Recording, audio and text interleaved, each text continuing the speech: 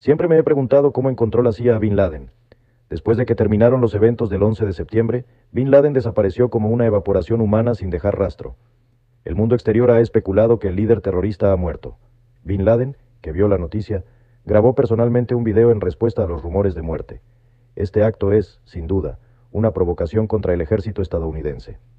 Con el fin de arrestarlo con éxito, la CIA estableció un grupo de trabajo especial, elevó la recompensa de Bin Laden a 50 millones de dólares y envió satélites, aviones de reconocimiento y aviones no tripulados para encontrarlo. En 2004, la CIA capturó a un terrorista llamado Kul en Pakistán. Bajo severas torturas, confesó un mensaje importante y fue apodado Kuwaití por la gente en las calles de Bin Laden. No fue hasta 2007, cuando Obama llegó al poder, que utilizó una serie de tácticas diplomáticas para provocar a Pakistán con la esperanza de que compartiera información de inteligencia tal vez para dificultar las cosas a la CIA. Pakistán ha hecho llamadas telefónicas a decenas de presuntos miembros de Al-Qaeda y miles de registros de llamadas, después de una gran cantidad de comparaciones de sonido, descubrió que uno de ellos podría coincidir con los terroristas del año. El idioma que se habla es la parte noroeste de Pakistán.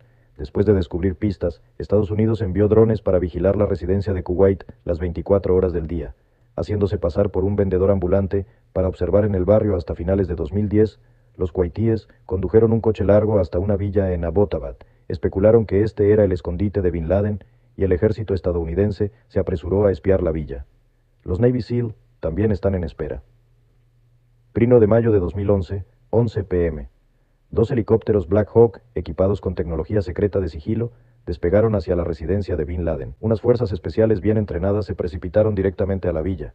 Completa la incursión en 38 minutos y mata al hombre más buscado en el acto.